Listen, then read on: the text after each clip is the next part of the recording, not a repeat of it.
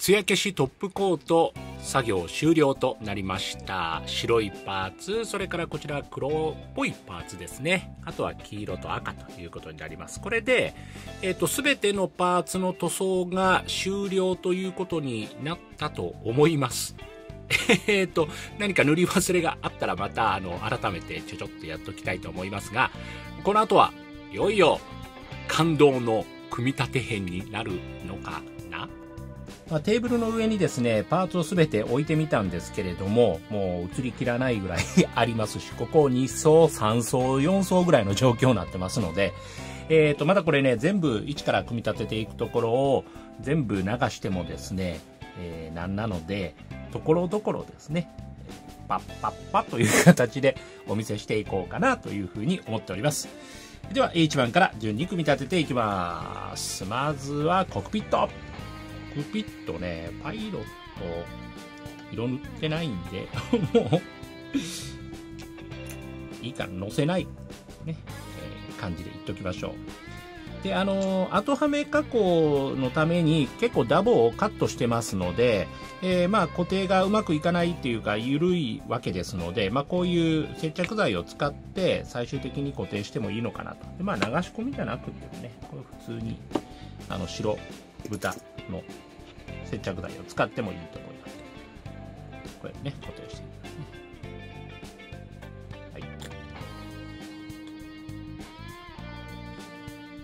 もうおそらくここもね、あの別にシートもつけなくてもいいぐらい、後で見ないと思いますので、えーと、これ向きは一応あるみたいですね。平らな方で合わせる。こうか。こうね。はい。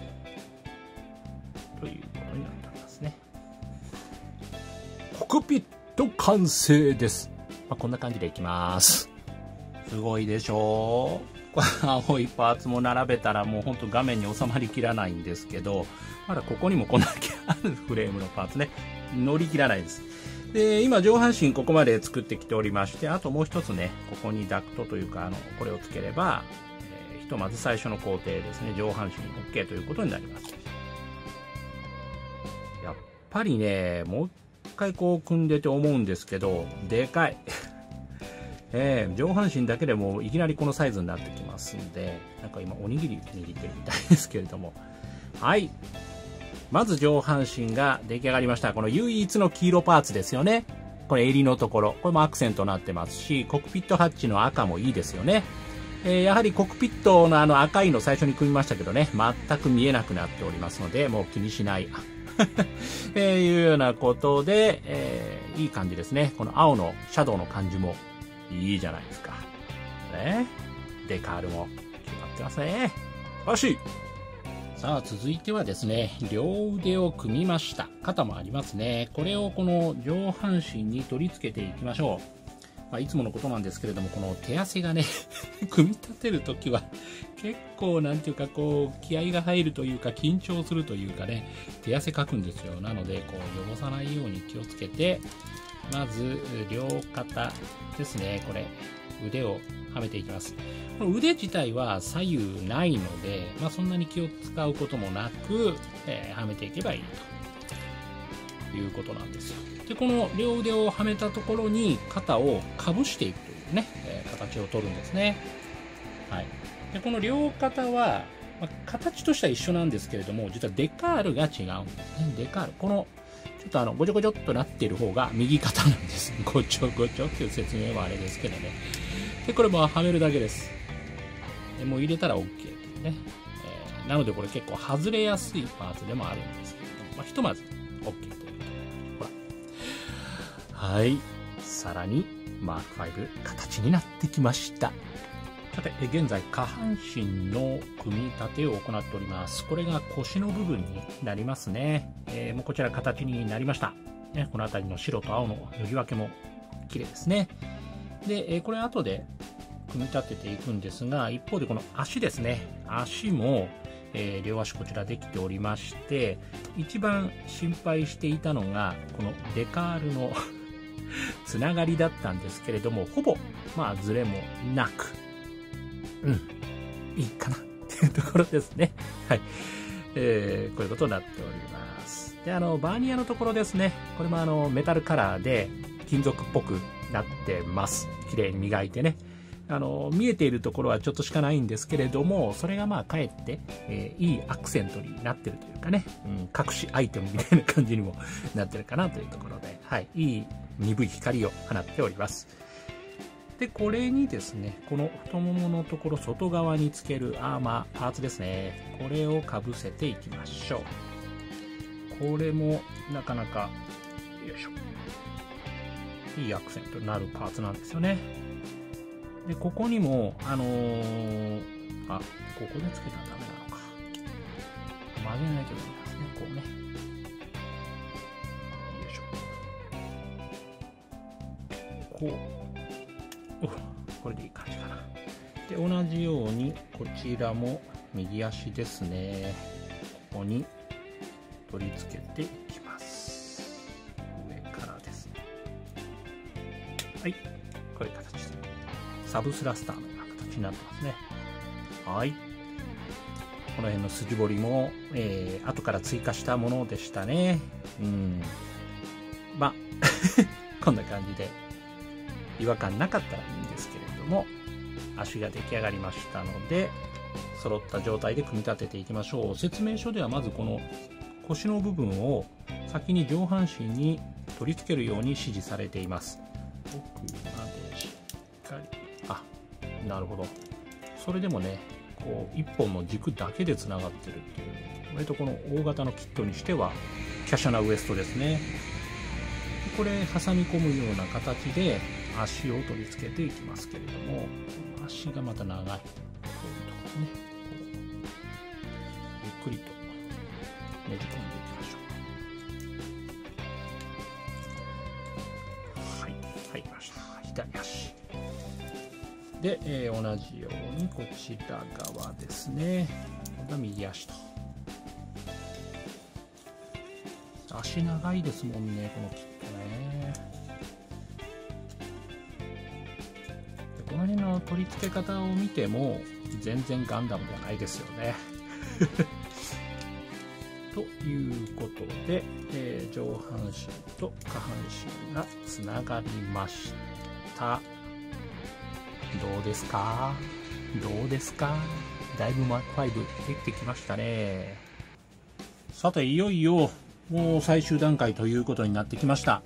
えー、ね、胴体の方はもうほとんど形になっている状態で、まあ、上からちょっと見づらいですけど、こんな感じになってます。この方が見やすいかな。こんな感じになってますね。はい。えー、残すところを全部形にしましたので、組み合わせていきます。まずはバックパックからいきましょうか。背中ですね。はい。こちら向いてもらって、背中のここのダボですね。あ、穴ですね。ここに差し込むだけ。はい。なんか尻尾みたいなのがついてますからね。ガンダムなのに。はい。で、えー、これで背中 OK ということになりました。ちょっとサーベル寝すぎてるかな。サーベルというか、これ ここがビーム出るんですよね えー、さらに肩ですね。肩に今度ミサイルボットがつきます。ここが開くんですね。でこれも両方出来上がっております。こんな感じでポカッと蓋が開くと。ここも広がる。こういう形ですね。うん。ちゃんとデカールが貼ってあります。で、これで、ここにこの穴を刺してあげればいい。こういうことなんですね。まあ、しかし、型にミサイルポットをこういう形で差し込むというのもものすごいデザインですけどね 面白いですで右肩も同じようにミサイルポットがつくと。はい。簡単につきました。これでさらに行々しくなりました。すごいでしょ。もう縦な入らないですからね。横にしております。すごい。で、もうあと残すところは、手、縦、そして頭と。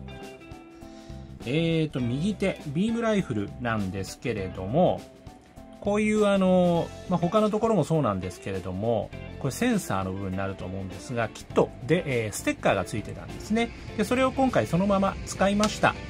まあ、塗り分けるのも、まあ、よくやる方法なんですけれども、まあ、綺麗な、あの、シールなので、今回そのまま使わせていただきました。で、えー、右腕に刺す。左腕は、手首だけなんで、グー。よし。で、縦を、縦はね、この肘のところというか、はい。まで入りました。大変なことになってます。えー、最後に、頭ですね。えー、目だけは塗装で再現したんですけれども、全然緑がわからない 目が光ってないですね。ここは、あの、蛍光塗料とか使って、ブラックライトで光るっていう、あの、有名な手法がありますけれども、あれがいいのかもしれませんが、やっておりません。はい。えー、これでですね、ようやくということになりましたが、ガンダムマーク5完成となりましたけれども、画面に入らない。えー、こんな感じになっております。ちょっと横向けたりとか、ひっくり返してみたりとか、いろんなことになっております。ね。いかがでしょうか？ガンダムマーク5です。えー、色味もですね、うん、あのー、鮮やかな感じよりも若干こうくすむ感じで、うん、やはりあの軍用機の塗料というかね、えー、色を使ってるというところもあって、まあ、リアル感も感じられるかなというところですね。でやっぱりねなんだかんだ言いながらかっこいいですわ。かっこいい。迫力ありまくり。素晴らしいです。ただ、えー、最後になってこれ問題です あの、この後くるくる回りますけれども、パーツ2つ、実は色を塗り忘れておりました これあのー、そのままです。2つだけ部品、色を塗らずに、トップコートだけ拭いてあります。最後に艶消しのトップコートだけは拭いておきましたが、塗装そのものはしていないところが2つあります。どことどこでしょうか？わかるわけがない でそれから、あの、で前半の動画でも紹介しました、あの、パーツを1個なくしたというのありましたよね。ここの肘のこのパイプの部分なんですけれども、チューブっていうのかな？この部品がなくなって、えー、注文した途端にまた出てきたというあるあるなんですけれども、えー、今現在まだパーツは届いておりません。注文はしたんですけれどもね、えー、まだパーツこっち届いておりませんので、またいずれ、ひょっとしたらね、この完成した直後に届くかもしれませんね。